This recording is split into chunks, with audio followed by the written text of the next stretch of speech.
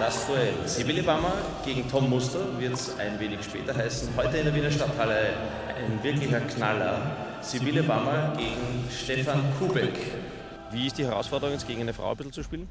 Na, ich habe mit der Sibylle schon ein paar Mal trainiert und äh, Bälle geschlagen und äh, das ist immer lustig und äh, ein nettes Training.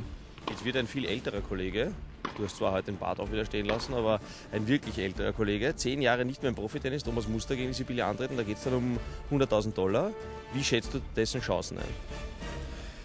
Ja, also ich meine, es ist ein Geschlechterkampf, muss man sagen. Und äh, insofern glaube ich natürlich, dass der Mann gewinnen wird.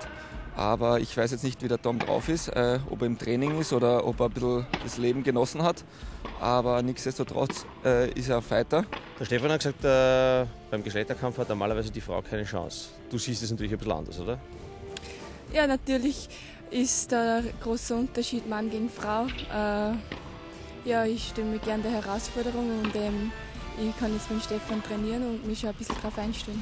Wir wollen ja, dass Tom Muster leidet und richtig schwitzen wird. Das wird auf jeden Fall, weil du wirst ihn hin und her jagen, oder?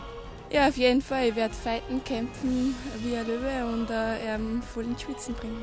Also nach dem, was ich hier sehe, bin ich auf jeden Fall gespannt, wie sich der Tom Muster schlagen wird. Sibylle Bammer wirkt sehr kämpferisch, ehrgeizig, durchtrainiert und die wird, wie sie gesagt hat, wie eine Löwin kämpfen und beißen. Auf das freuen wir uns Ende November, wenn es soweit ist, in Salzburg beim großen Duell Sibylle Bammer gegen Tom Muster.